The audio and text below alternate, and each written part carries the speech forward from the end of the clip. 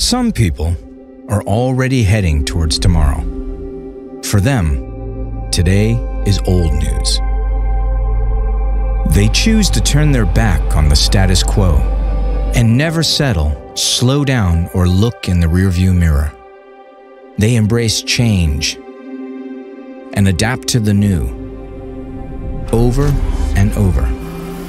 Some people understand that the big difference is found in the small details. For them, it's clear. The next level is the only level.